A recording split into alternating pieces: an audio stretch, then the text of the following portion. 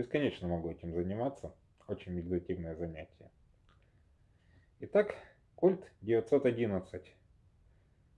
Одно из самых гениальных творений гениального оружейника Джона Мозеса Браунинга. Один из лучших пистолетов 20 века. Мой любимый пистолет. Вот сколько не пробовал, ни, ничто не ложилось в руку, как этот уже более чем столетний дедушка. Не знаю почему. Ведь него приятно стрелять, легко попадать. Хороший друг, хороший пистолет. А началось все с того, что американской армии потребовалось новое короткоствольное оружие. У американцев к тому моменту был на вооружении револьвер, тоже Кольт, 1892 года. И, в общем, они с ним им были вполне довольны до того момента, как им, им не пришлось поучаствовать в небольшой, но очень неприятной партизанской войне. Э, после победы над испанцами вместе с бывшими испанскими колониями Куба и Филиппины, американцы получили в наследство небольшую кучку так называемых мура, иногда их называют племена мура, на самом деле это э, просто э, мусульманская часть населения Филиппин, очень воинственные ребята, с которыми, которые доставляли массу проблем и испанцам, и вот перешли по наследству к американцам. Кстати, воюют до сих пор, если смотреть новости, можно до сих пор на, иногда видеть сообщения о том, что мусульманские фанатики на Филиппинах устроили тот или иной теракт, обстреляли там армейский блокпост и так далее. Воюют с ними до сих пор и достаточно серьезно. Ну, американцам в тот момент все это было еще неизвестно, они еще плохо понимали, в какое, какое осиное гнездо разворошили. И вот в, этой, в ходе этой партизанской войны, среди прочего, выявилось, что револьвер 1992 года, конечно, неплохой, надежный, но патрон против прыгающего из джунглей двухметрового фанатика, некоторые из которых еще чем-то типа наркотиков обелись, слабоват. То есть приводили случаи из разряда «я по нему выпустил все 20 патронов из своего шестизарядного револьвера, он все бежит, бежит на меня, размахивает своим мечом». Одним из тех, кто начал говорить о слабости револьверного патрона, был военный врач доктор Лагард.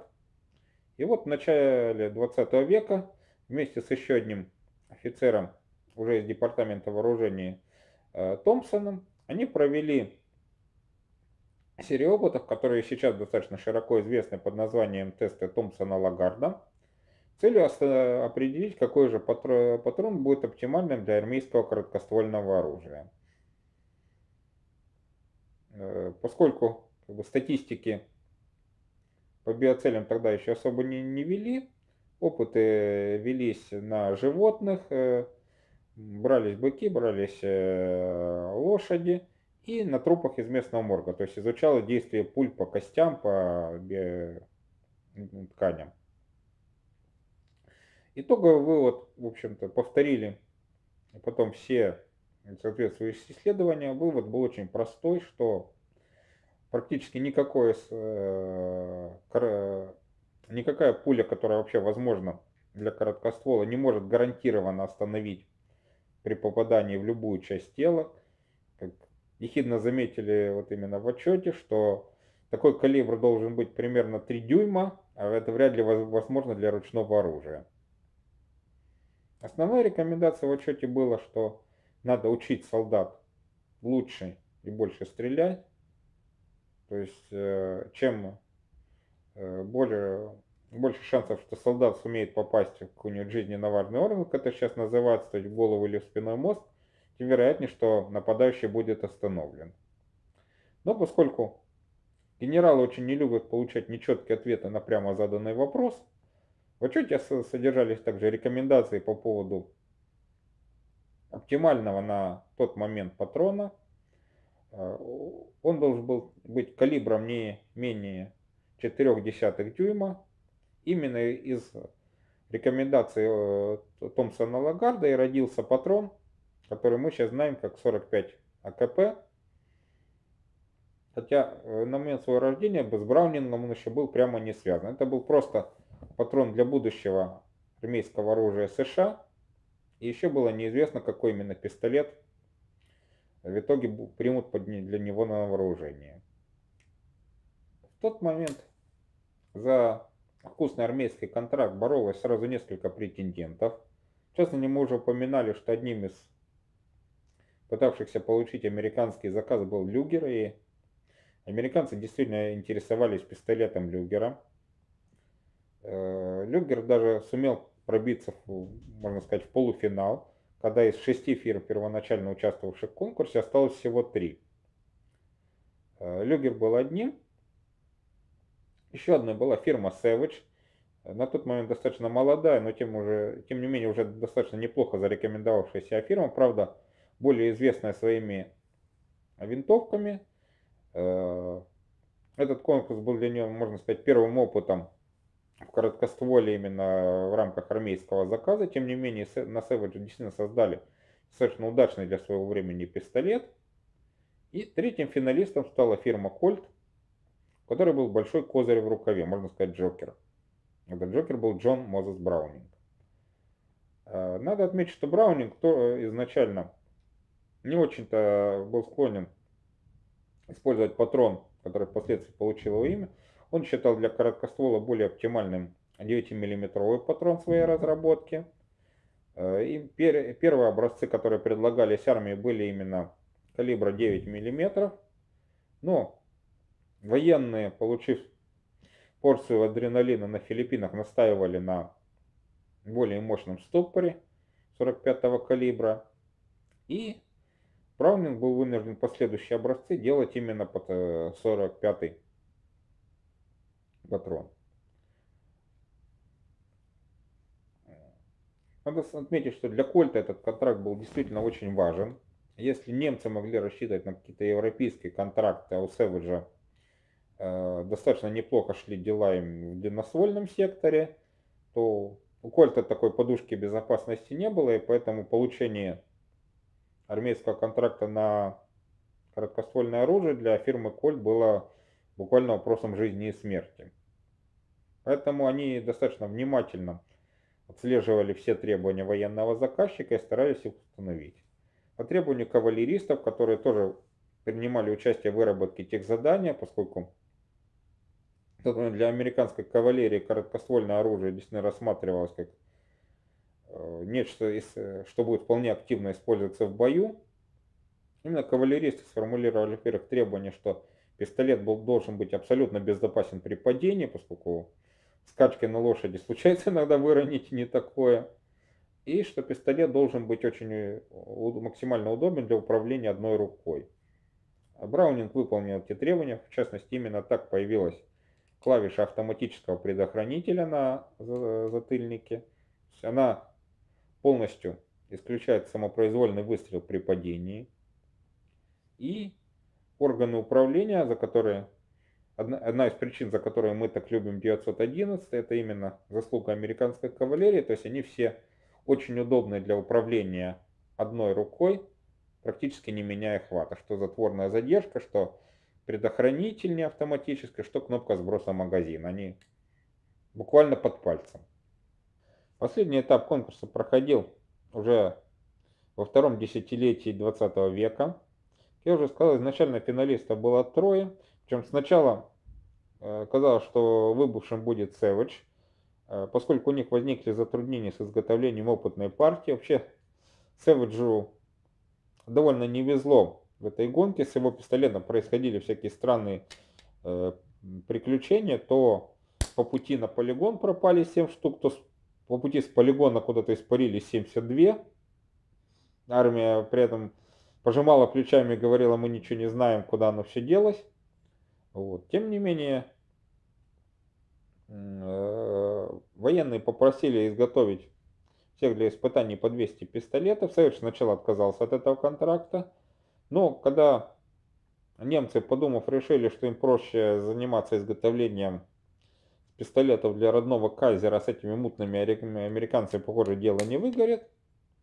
Сеуч все-таки решил побороться с Кольтом. Не без основания считаю, что их пистолет имеет неплохие шансы. И таким образом в финале осталось двое. Пистолет Сэвиджа и то, что в будущем станет Кольтом 911. Э, первый этап испытаний в 1910 году оказался не самым удачным для обоих пистолетов. Настрел на 6000 выстрелов провалили оба. Единственное, что у Кольта оказалось меньше поломок. Но, тем не менее, по надежности тест не прошли оба. Пистолеты были отправлены на доработку. И вот в 1911 году состоялся второй этап испытаний. Уже, я сказал, решающим было испытание э, на надежность, на надежность большим количеством выстрелов. 6 тысяч выстрелов для тех времен это было нечто совершенно фантастическое. И надо сказать, для, те, для тогдашних материалов и стали это действительно была очень а, большая нагрузка. И именно это испытание стало решающим в судьбе армейского пистолета армии США, потому что творение Джона Мозеса Браунинга отстреляло 6 тысяч выстрелов без единой поломки. Сэвидж этого сделать не смог и таким образом сошел с дистанции.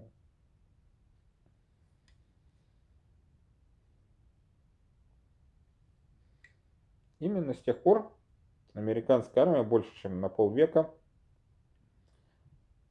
обрела свой новый пистолет, который до сих пор ну, многие американцы считают действительно лучшим, который когда-либо был на вооружении армии США. Что же такого примечательного в этом пистолете, что он и сейчас является столь популярным и интересным? Как ни странно, его достоинства можно считать отчасти продолжениями его недостатков. Э, современные боевые пистолеты в большинстве своем э, делаются так называемого двойного действия. То есть они имеют возможность производить первый выстрел самовзводом. Кольт создавался в те времена, когда это было не обязательно. То есть у него только одинарное действие, так называемый single action – но именно это позволяет ему сделать очень мягкий и четкий спуск с очень коротким ходом. Практически путем несложной регулировки э, можно добиться так называемого так называемой хрустальной палочки, то есть когда ход будет минимальным, усилие буквально от чиха и следует выстрел. Как ни странно, это э, востребовано до сих пор, в том числе и операторами некоторых спецподразделений, которые вполне резонно полагают, что они всегда будут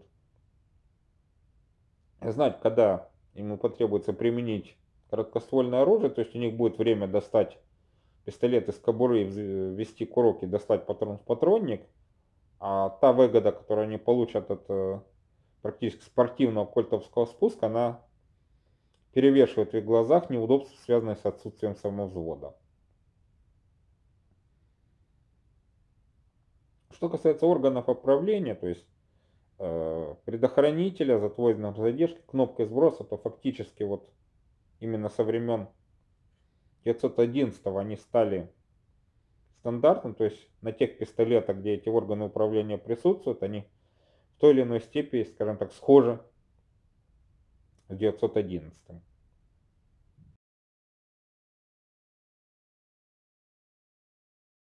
А теперь мы бахнем. И бахнем мы с двух 1911. Один, который вы уже видели, STI Spartan в калибре 9 на 19, а второй у нас будет Colt Gold Cup Trophy в калибре 22 LR. Оба пистолета точные, поэтому мы не отстреливаем весь курс по ПЦ-48. Попадают они отлично. Вот у нас на фоне такой отличный белый лист. Мы его повесили для того, чтобы вы увидели разницу калибров. То есть разницу подброса в девятке, довольно мощной девятке с очень легкой пулей и 22 ЛР. Поехали.